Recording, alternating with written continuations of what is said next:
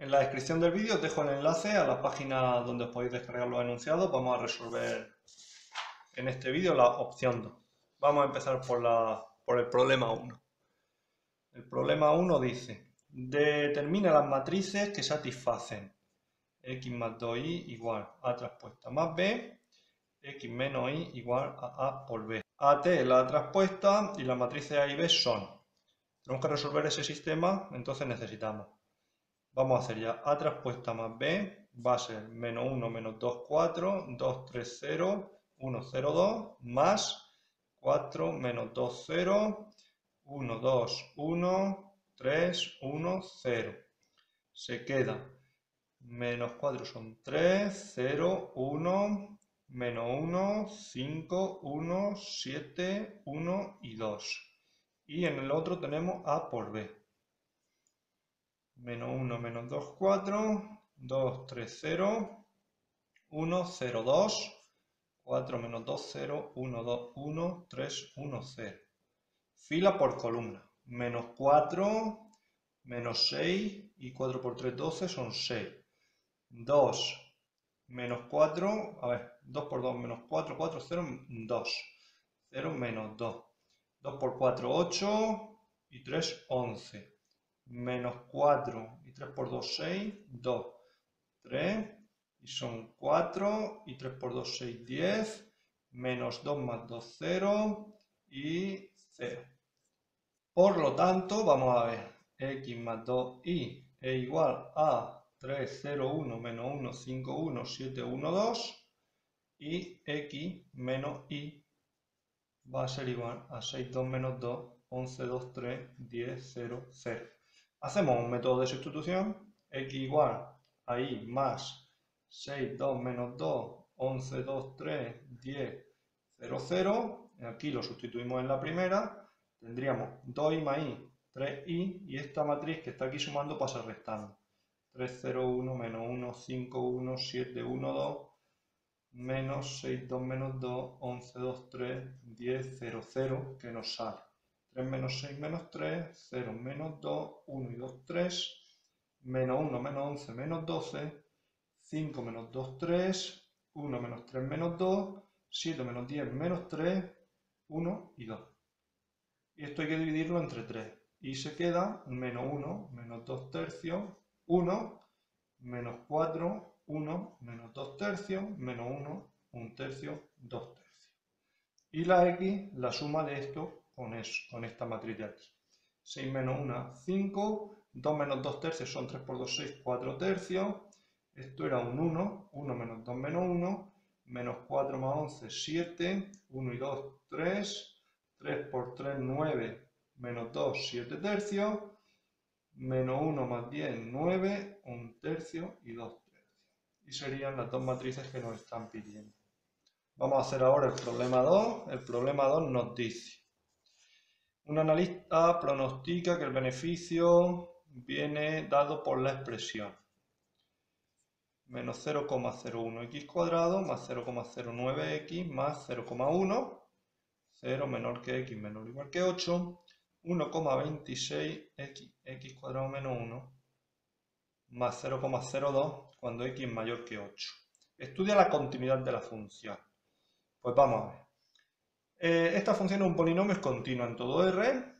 Esta función se anula en 1 y menos 1. Como ninguno de los dos es mayor que 8, también es continua en todo R. Por lo tanto, B continua de menos infinito a 8 y de 8 a más infinito por ser polinomio y ya que eh, x igual más menos 1 no pertenece a 8 más infinito, que sería lo que anula el denominador de aquí. Entonces vamos a ver qué pasa en x igual a 8. En x igual a 8 tenemos que hacer la definición. Hacemos límite cuando x tiende a 8 del beneficio por la, izquierda, que sería sustituir en este trozo de aquí. Límite cuando x tiende, cuidado, ¿eh? El dominio es de 0 a 8. La función no tiene valores negativos. Aquí el dominio empieza de 0 y va creciendo el valor de la x. Límite cuando x tiende a 8 por la derecha, sería sustituir el 8 aquí y f de 8, donde está el igual. Entonces, vamos a hacerlo con la calculadora. menos 0.01 por 8 cuadrado más 0.09 por 8 más 0.1. Eso es 0,18, que es 8 por la izquierda y f de 8. Y 8 por la derecha aquí. 8 por 8, 64 menos 1, 63. 1.26 por 8 dividido 63 más 0.02. 0,18. Como límite cuando x tiende a 8 por la izquierda de b de x igual límite cuando x tiende a 8 por la derecha de b de x igual a f de 8, entonces continúa en x igual 8. Tendríamos el apartado A resuelto. Vamos a hacer el apartado B. El apartado B dice calcula intervalos de crecimiento y de decrecimiento. Pues tenemos que derivar la función. Sería menos 0,02x más 0,09 x entre 0 y 8. Aquí no se pone el igual, ¿eh? 1,26 por derivada del de arriba, por el de abajo sin derivar, menos el de arriba sin derivar por la derivada del de abajo partido el de abajo al cuadrado. la derivada de 0,02 es un número, es 0.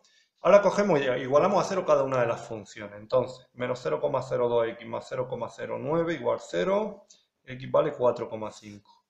Aquí, 1,26 por x cuadrado menos 2x cuadrado es menos x cuadrado menos 1 partido de x cuadrado menos 1 igual 0. Si solo si lo de arriba vale 0 y esto no tiene solución porque x cuadrado tiene que valer menos 1, no tiene solución.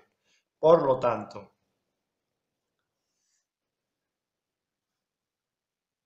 en el 0, en el 8 es donde se separa la función en el 4,5 pasa algo y aquí la función va creciendo. Cogemos un punto de cada intervalo, sustituimos en la derivada correspondiente de la función. ¿eh? En el 1, aquí, 0,09 menos 0,02, positivo. En el 7, pues 7 por 2, 14, menos 0,14 le gana al 0,09, negativo. Y el 10, el 10 tendríamos menos 10 al cuadrado menos 1, eso es negativo, y aquí 10 al cuadrado menos 1 es positivo, menos entre más es menos y esto aporta un signo más, pues negativo. Crece, decrece y decrece. Por lo tanto, crece de 0 a 4,5 y decrece de 4,5 a 8, unión de 8 a más infinito. Aquí hay una cosilla que es la derivabilidad de la función. Al ser una función definida a trozos, no sabemos exactamente qué es lo que pasa. ¿eh? Así que eh, el 8 no lo tenemos en cuenta. El apartado C dice que capital tengo que invertir para maximizar el beneficio, pues nosotros vemos que la derivada del único candidato del 4,5 tenemos que comprobar que realmente se trata de un máximo o de un mínimo.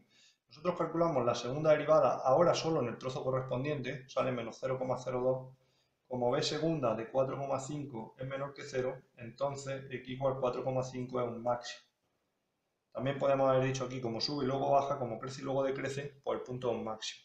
¿Cuál es el beneficio con 4,5? Pues sustituimos en el trozo correspondiente menos en la función original 0,01 por 4,5 al cuadrado más 0,09 por 4,5 más 0,1 y tenemos menos 0.01 por 4.5 al cuadrado más 0.09 por 4.5 más 0.1 0,325 como dicen miles de euros, pues son 302,5 euros el beneficio. Ahora dice, si se invierte un capital muy elevado, ¿cuál sería como mínimo su beneficio? Pues entonces, como nosotros sabemos que la función en el trozo que contiene los valores grandes es decreciente, lo único que tenemos que calcular es el límite cuando x tiende a infinito de la función, del trozo que corresponde, que lo tendríamos aquí, 1,26 x partido x cuadrado menos 1 más 0,02. Como aquí domina el término de abajo, que es un cuadrado, y arriba es x, grado 1 dividido grado 2, esto tiende a 0. Entonces esto es 0,02. Por lo tanto, como mínimo, 0,02 por 1000 son 200 euros de beneficio. Vamos a resolver el problema 3. Una compañía de transporte cubre un desplazamiento entre municipios distintos. El 35% de los recorridos corresponden al destino 1, pues nada, destino 1, destino 2, destino 3, 35% es 0,35, 0,2 y 0,45 al destino 3. La probabilidad de que sufra retraso Siempre definimos los sucesos. Sufre retraso, no lo sufre. La probabilidad de que sufra retraso son 0,02, 0,05 y 0,03 respectivamente. ¿Qué porcentaje llega con puntualidad? Pues la probabilidad de ser puntual es 0,35 por 0,98, 0,95, 0,97. Esto es teorema de la probabilidad total. 0,35 por 0,98 más 0,2 por 0,95 más 0,45 por 0,97. Multiplicamos y sumamos 0.35 por 0.98 más 0.2 por 0.95 más 0.45 por 0.97. 0,9695. Como lo dice, ¿qué porcentaje? 96,95%. Multiplicamos por 100 el resultado. ¿Cuál es la probabilidad de que un recorrido seleccionado al azar corresponda al destino 2 y haya tenido retraso? Al destino 2 y retraso multiplicamos los caminos. 0,2 por 0,05, pues 5 por 2, 10, 0,01. Y ahora es probabilidad, por lo tanto se queda así. Y el apartado C nos dice, seleccionamos un recorrido al azar y resulta que sufre retraso. Entonces sabemos que tiene retraso, ¿cuál es la probabilidad? ¿Cuál es el destino más probable? Tenemos que hacer el teorema de Bayes para todo. La probabilidad de que sea el destino 1 sabiendo que tiene retraso. Pues sería 0,35 mm, por 0,02 partido la probabilidad, el suceso contrario que esto, porque esto era ser puntual. 1 menos 0,9695.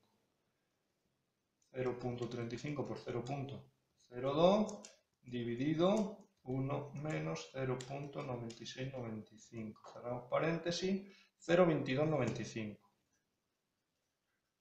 La probabilidad del suceso 2 retraso, pues 2 con retraso, 0,2 por esto que nos ha salido aquí, 0,01 partido 1 menos 0,9695. 1 menos 0.9695 0,3279. Y la probabilidad de tres retrasos, pues como todas las probabilidades tienen que sumar uno, el retraso tiene que deberse a uno de los tres destinos, pues sumamos estos dos y lo que le falte para llegar a 1. 1 menos 0.2295 menos 0.3279. 0,4426. Por lo tanto, la probabilidad es la del destino 3. Y con esto hemos terminado el examen.